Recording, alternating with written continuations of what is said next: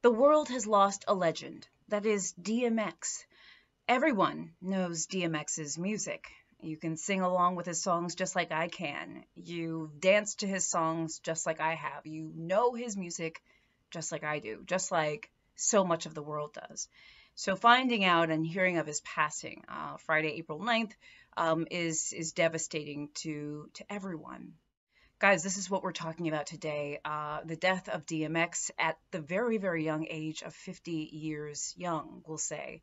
Uh, guys, I'm Dr. Jen Caudle. I'm a practicing family physician and on air health expert and a video creator. Uh, I do videos on health topics, celebrity news, uh, you name it. Uh, if you're interested in content like this, please subscribe to my channel uh, and click the little bell for updates. Now, what I wanted to start by doing is reading a statement uh, that the family released, um, and I'm reading this from People Magazine.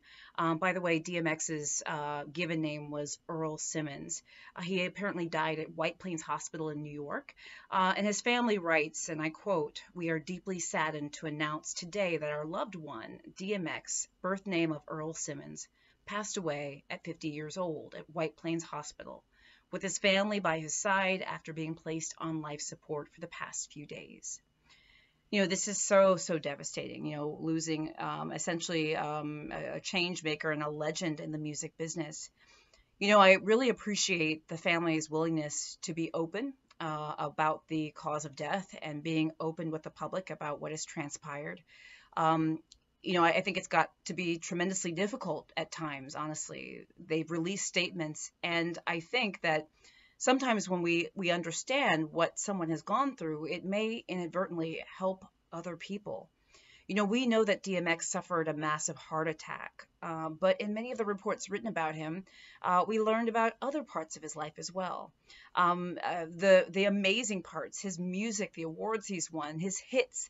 Uh, we've also learned about his early life. We've learned about his struggle with drugs and his stints in rehab. And one of the reasons why I say that I'm grateful to the family for being open with details surrounding his death and his life is that I hope that it helps other people.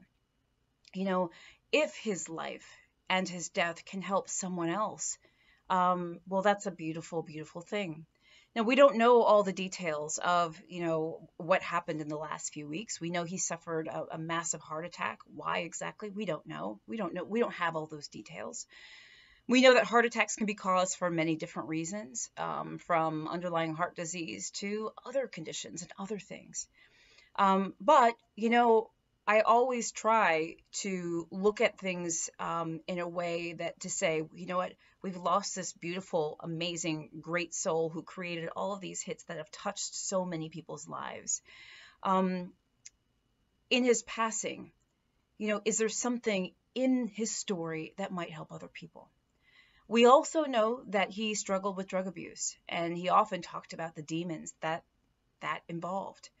And I guess one thing I want to say is that for anyone out there, if his story sounds like your story, if his struggles sound like your struggles, you know, perhaps this is the story that may help you take the first steps to getting help. You know, I always think that, um, I don't know, you know, situations like this are so tough. Every time I talk about the death of a celebrity from certain health conditions or medical conditions, there's always some speculation. We don't always know the whole story. But in the death of anyone, as sad and tragic as it is, as a physician and as a person, as a human, one thing I always hope is that perhaps their life will inspire the lives of other people. We hope that DMX inspires other people maybe young budding musicians, um, people to uh, to sort of have the spirit that his friends and family knew him to have, but also may also inspire other people who might be struggling with drug or alcohol abuse, substance abuse, or other demons, might encourage you to get help. So I'm grateful to DMX's family for being open about his life and his death. Um, and we are so grateful for the time that we had him on this earth and the joy that he's brought so many of us through his music. You know, remember, there is help if you're struggling. If you're struggling with drug abuse, opioid addiction, etc., there is help. Um, the first step is to reach out. Guys, I'm Dr. Jen Caudle. I hope this is helpful. Um, please subscribe to my channel. Click the little bell for updates if you're interested in content like this and others. I'll see you soon.